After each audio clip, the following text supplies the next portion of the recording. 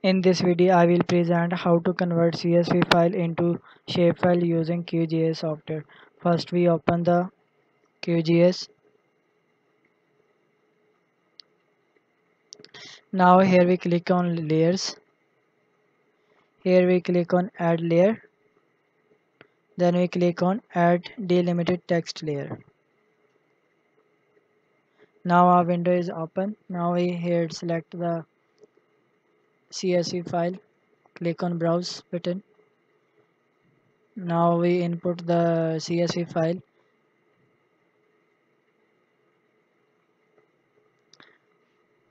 Now we have different option. Click on the file format CSV and here we have different attribute tables name latitude longitude elevation. Now here we select the into x field longitude and y into latitude. Now here we have a coordinate system. So now we click on add.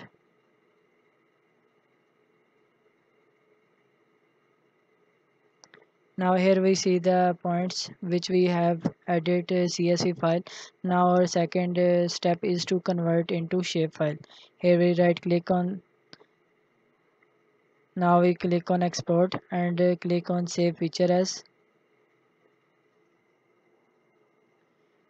Now we have different uh, options to convert into format for example shapefile and geojson file and many other options. Now we here click on ESRI shapefile and we click on this where you want to save this shapefile here we write the shapefile name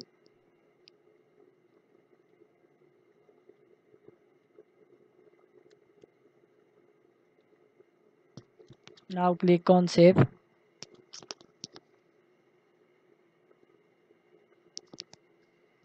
Now we click on ok.